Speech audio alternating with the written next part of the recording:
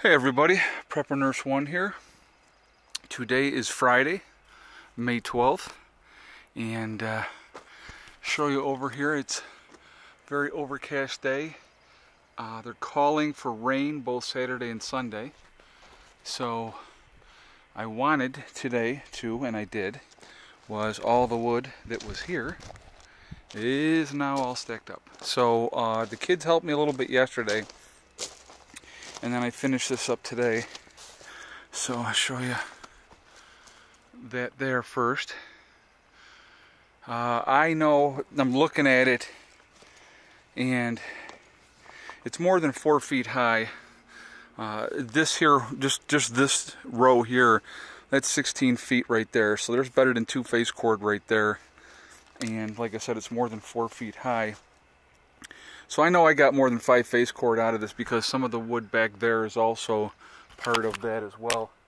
And uh, so that's, uh, we got a lot of wood. And then the black cherry that we got, we put over here because that's already seasoned and ready to go. Uh, so what I wanted to talk about today, hold on a second. I see a spot on here on this lens, so hold on a second.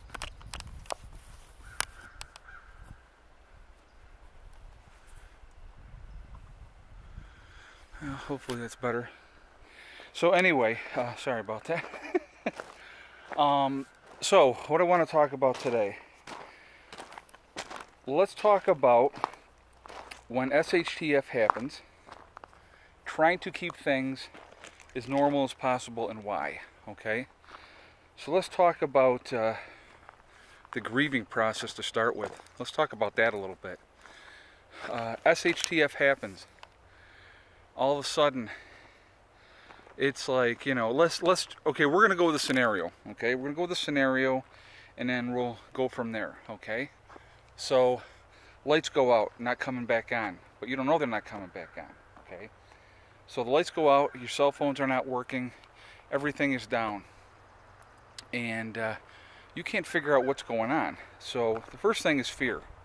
It's to be your first uh, initial reaction is oh my god what's what's happening, okay?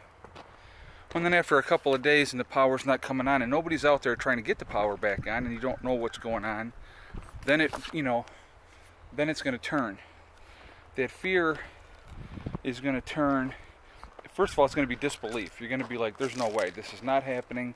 I don't believe it. Can't be happening. This isn't real. Then from there, what's going to happen?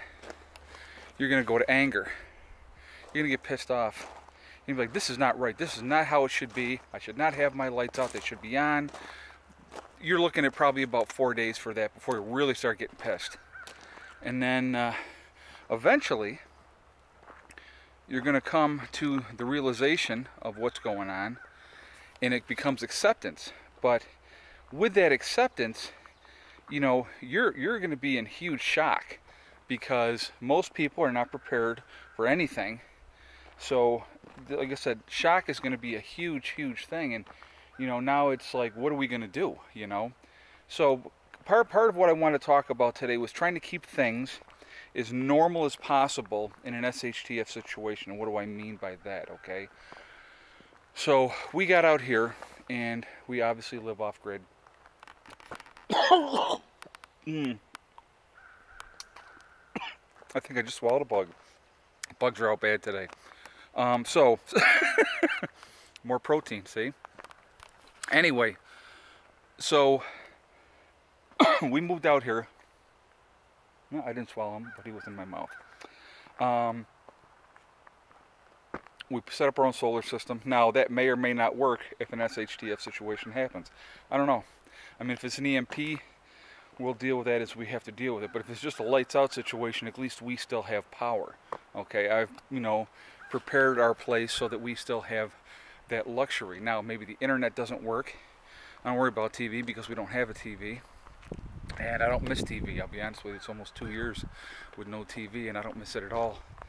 But, uh, so, internet's not working, but you know, you still got power, so you can still get on your laptop and play games or whatever. So, you have that normalcy. Now, I'm, a lot of this is what I'm saying is, is trying to keep things as normal as possible, not only for yourself, but for your children, okay? Uh, being able to still take a hot shower for however long the propane holds out, okay? Or, you know, having something set up so that you can take a hot shower off the wood stove. Being able to be warm, being able to still brush our teeth, being, able, like I said, just being able to wash up. Uh, trying to keep things as normal as possible. Now, obviously, in an SHTF situation where the lights went out and weren't coming back on, that's obviously not a normal situation. But trying to keep a continuity and so it's going to be a shock for everybody, even like for us. If something happened, it'd be like, oh my God, okay? Because it just changes everything. Hold on one second. I'll call her back. So, mom. Um, so anyway, you have that, that shock that happens. Oh my God, this is this is real.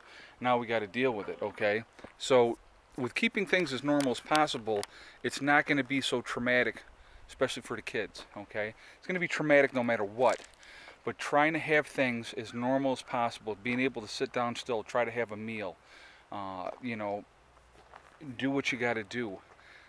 That's going to be a huge, huge part of trying to keep your sanity, number one, because people are going to go insane. I mean, people will go absolutely bonkers because they won't know what to do. They won't know how to deal with it. And, uh, you know, then things get real scary after that. But well, that's another whole video.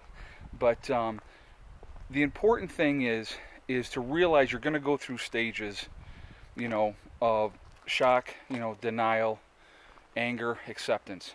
It's almost like the phases of going through death. I mean, when you realize that you have, you know, like if you have uh, cancer and they basically tell you you're going to die, you go through stages. You know, it's like there's no way this is not happening to me. You know what I mean? That whole same type of situation but this is going to be on a much grander scale. So trying to keep things as normal as possible is going to be a very, very big thing for everybody.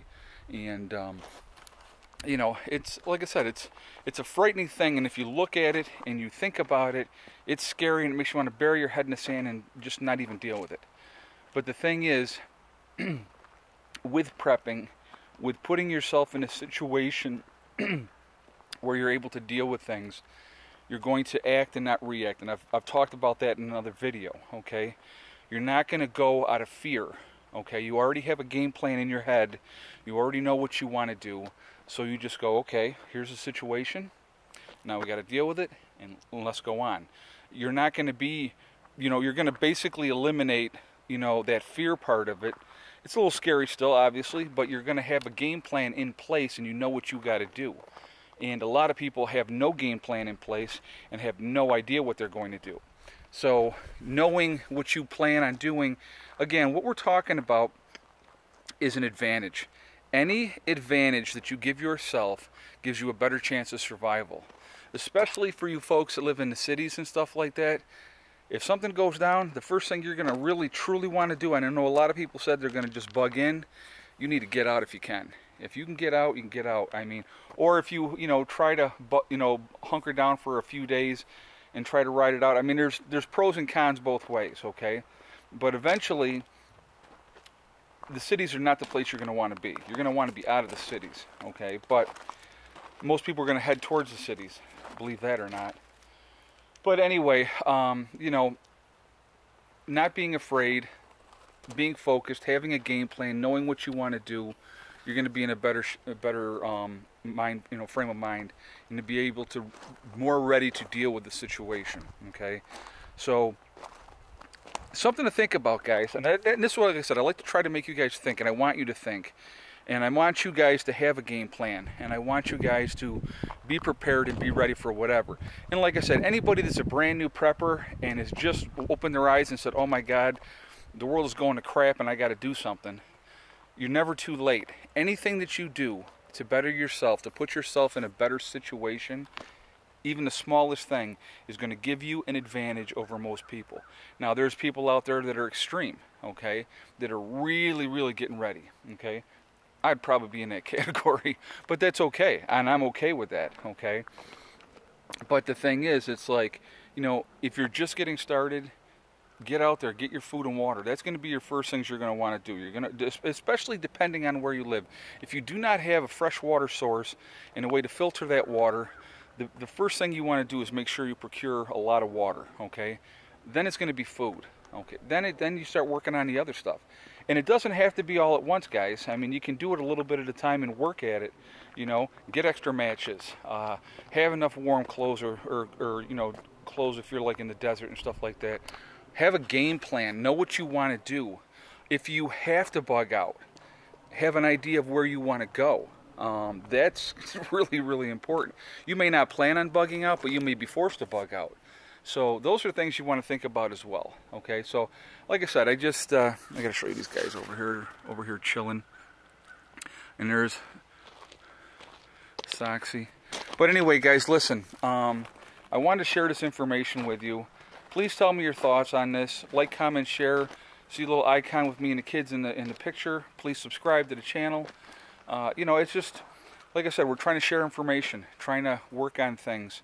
Um, another thing I want to show you what I just did too. Uh, I did a couple yesterday, put two loads yesterday, and I added two more loads over a stone over in this area because that's where the wood was at. And so I wanted to fill that all in, so I did that as well. So just making more progress a little bit at a time, but uh, you know, I feel real good. This here for me, guys, I'll tell you what, you know what this is for me? This is peace of mind. Peace of mind, that's what that is there, okay? Uh, that, what I have right there between the two stacks, that'll get me through next winter. Now it's time to continue to add on to that, and that's what we're going to be doing. So anyway, guys, listen, I'm going to jump off of here for now. I hope everybody has a great Friday. Hope you have a great weekend. Have a good time. Be smart, be safe, be prepared, okay? Don't live in fear, guys. That's the biggest thing. You know, don't be afraid. If you're doing something rather than doing nothing, you're giving yourself the advantage. So pat yourself on the back for that. Really, truly do that, okay? And know that you're working towards a bigger goal. And then when something does happen, you are more ready, again, than 95% of the people in this country. If you have a two-week supply of food and water, you're ready, more ready than 95%. All right, so I'm going to get off of here. Uh, oh, and okay, real quick before I do that, yes, Swiss flag, thank you. I didn't think it was, I'm sorry, my mistake. Uh, I'll be the first to admit it, okay? So anyway, that is that. Remember, hug and kiss the ones you love, tell them every day. And, uh, you know, tomorrow's not guaranteed, guys, so we don't know what's going to happen. And remember, it's one step at a time, it's one thing at a time, and it's one day at a time. STD. You know, it's a real easy way to remember that. I mean, it's kind of a, a weird thing, but it works, okay? Whatever you're working towards, whatever your goals are, as long as you work at it methodically, you will reach your goals, okay? I, I promise you. I mean, look what I've done up here. I mean, it's just, uh, you know, a little bit of hard work, a little bit of sweat, some help from, from, from people that know more than I do, you know, and you get to where you want to be. You really do. And you learn. And that's the biggest thing, learning as you go. So listen, I will talk to you all tomorrow. Prepper Nurse one out for now.